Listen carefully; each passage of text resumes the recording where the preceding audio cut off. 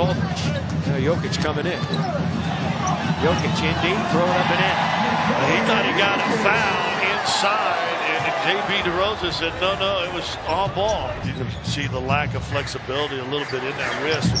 Yeah, the key is you, you, you dedicate so much time to getting it better in rehab, and Joker gets another three. U.S. Mortgage's halftime report coming up. The 2000's Night ceremony honoring as Jokic.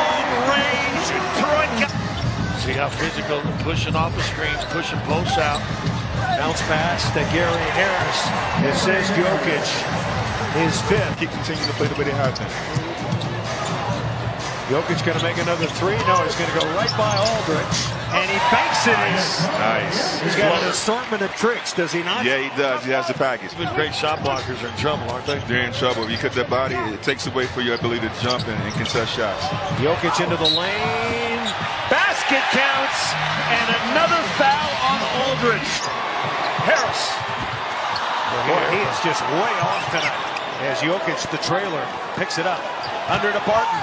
And Barton puts it away. I believe eight of those are free throws. Jokic to Plumlee.